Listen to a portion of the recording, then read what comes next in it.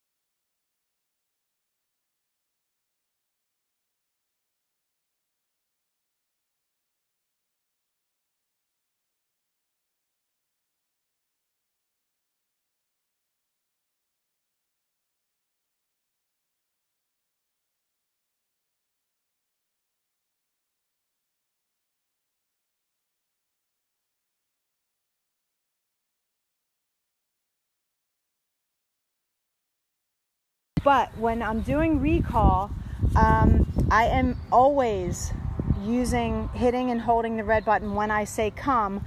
Why? Because that's the most important command. Like Molly, sit. I gotta dial up. She's very distracted. She might be hot too. Molly, sit. I'll let her sit in the shade. Good girl. So you always want to hit and hold that red button when you do recall because she lives on a farm and there's a busy street right there. So if she gets out of the fence, you want to be able to call her back to you.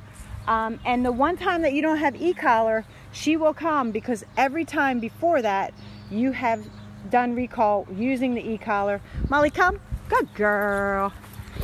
And you want to do this inside the house and outside of the house, anywhere you can, because you uh, want to make sure that she really understands the command. Good job, Molly. Good girl. All right, break.